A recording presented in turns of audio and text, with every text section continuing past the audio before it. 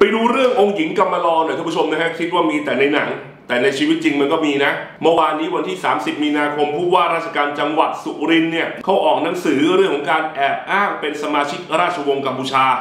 เนื้อความบอกอย่างนี้ด้วยกระทรวงมหาดไทยเนี่ยได้รับแจ้งจากกระทรวงการต่างประเทศ ว่าสำนักงานตำรวจแห่งชาติเนี่ยได้รับข้อมูลเกี่ยวกับการเสด็จเยือนประเทศไทยของพระองค์หญิงโกโสมะเตวีนโรดม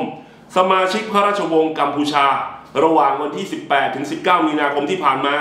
จากการตรวจสอบเนี่ยข้อมูลเนี่ยติดต่อไปยังสถานเอกอัครราชทูตณกรุงพนมเปญเขายืนยันกลับมาว่าพบว่าไม่มีสมาชิกราชวงศ์กัมพูชา ที่ทรงใช้พระนามว่าพระองค์หญิงโกโสมะเตวีนโรดม อีกทั้งบุคคลคนนี้เนี่ยที่อ้างตนเป็นพระองค์หญิงโกโสมะเตวีนโรดมเนี่ยยังมีหน้าตาคลับคล้ายคลับคลา เหมือนกับบุคคลที่แอบอ้างตนเป็นพระองค์เจ้าศรีสุวัตกุสุมานารีรัตนาที่เดินทางมายังชายแดนไทยกัมพูชาเมื่อปี 2560 โดยหนังสือเดินทางบุคคลดังกล่าวเนี่ยเป็นหนังสือเดินทางบุคคลธรรมดา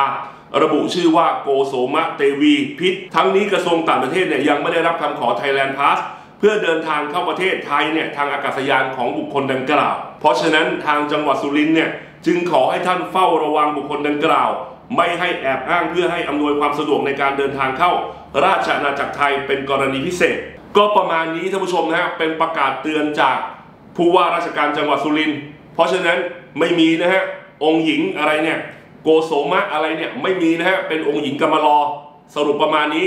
เราเคยดูแต่ในละครในที่กงลิเก ไม่คิดว่าจะมีเรื่องจริงท่านผู้ชมนะฮะประมาณนี้ครับยังไงก็ระวังกันด้วย ขอบคุณครับ